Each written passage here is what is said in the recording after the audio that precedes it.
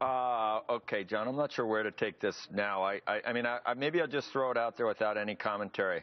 Uh, 51% said waterboarding was okay. 28% said it went too far.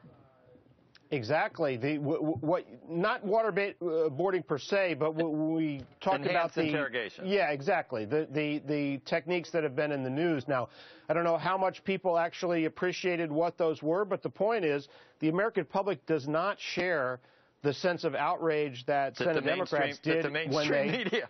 I mean, I watched it the way it was presented at the New York Times. This is like the, the yesterday was like the fifth day in a row where torture was in the headline on the right side of the paper, where it, I mean, it, it, and I read a, a piece by this. The, this has been true for by, a long time, I know, Joe. But I read a great piece by uh, of the guy in the Post, that, like Goodwin or whatever his name is. Just if the New York Times can occupy a, a, a position of moral superiority, they are going to run with it. But I wonder if they know they're talking to a country that's at 51-28, John.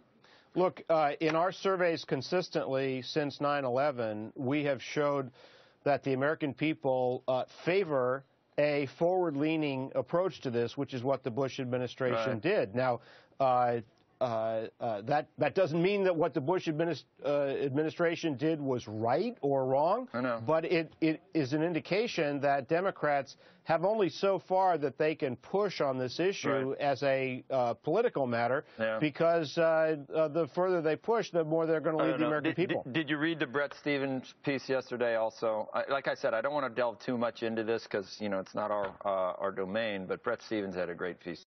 Khalid Sheikh Mohammed is the guy that cut off Danny Pearl's head and said, "This is I'm my, aware of that. my sacred right arm," mm-hmm. and he's still around.